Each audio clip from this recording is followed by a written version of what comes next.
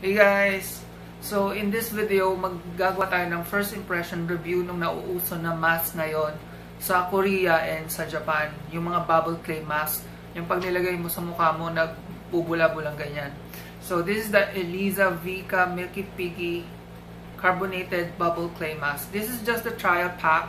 I was fortunate enough na makakuha ng ganito kasi ang mahal ng full size sa na tub which is 100 grams lang naman. Itong trial pack is, one, is 10 grams, so 1 tenth ng full size. So nakalagay siya sa tub na ganito. Yan. So meron tong activated charcoal. Wait. Yan.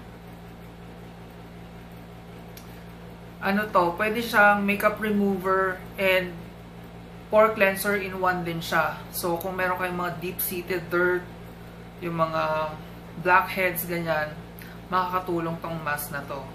So, hindi ko pa siya natatry. This is my first time na itatry to.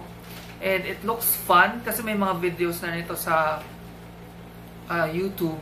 Pero puro foreigner. I think, i-claim ko na rin na ako yung unang Filipino dito sa Pinas na gagawa ng video about this.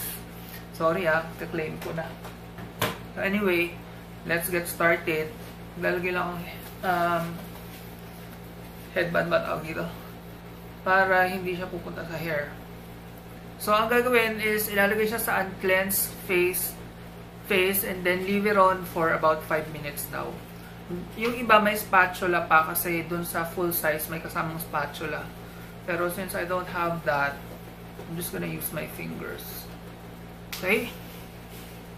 Let's start. Start.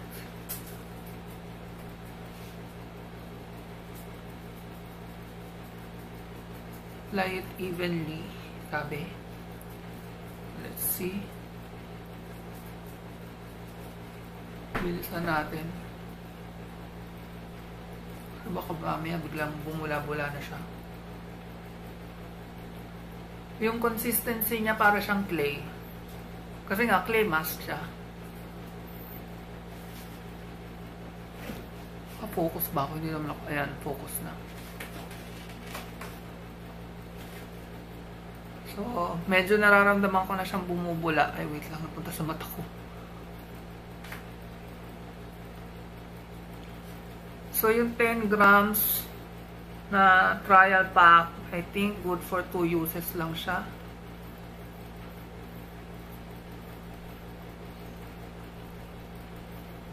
Kasi medyo kailangan ng a lot of amount So, yung 10 grams, halos nangalahati na. So, I think, I think, for two uses lang siya. So, let's wait. Ma leave it on daw for 5 minutes. So, papakita ko sa inyo kung ano itsura niya up close.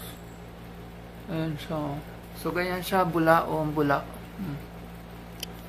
Dito ba? Yan, oh.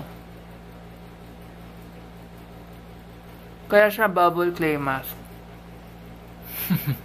Obviously, kasi nga magbabubbles. So, after 5 minutes, iwa-wash off na natin siya. Medyo may tingling sensation siya nararamdaman ko. Medyo mahapde.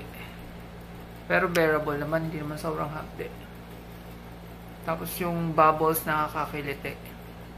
So, iwa-wash off ko muna siya, supposedly with lukewarm water. Okay, so it's been 5 minutes and winash off ko na siya. And then, towel dry lang. Pat dry. Uh, Mag-focus na yan. So, as you can see, ang soft tingnan. And ang soft din niya to the touch. Parang ang linis-linis ng face.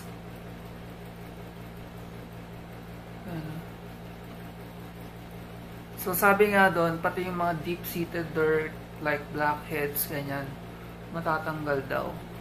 And, mukhang mas clearer, clearer nga yung face ko. Ayan, no? Diba? And ang smooth niya. So, for my first impression review ng Eliza Vega Bubble Clay Mask, sobrang nagustuhan ko siya. Wait lang. Gula na hair ko. So, yun. Nagustuhan ko nga siya. I'm giving it 5 stars out of 5 stars. Ang ganda niya sa face. Lalo na kung nagpo-focus ako sana. So, yun nga. As I was saying, kung gusto nyong matry ito, pwede rin ang magbenta ng sample size. I'll just post it sa ano ko na lang siguro, sa shop. Just search for Estetica Republic sa Facebook or sa Instagram. I'll also have the links in the description box. So, thanks again for watching guys. See you in my next video.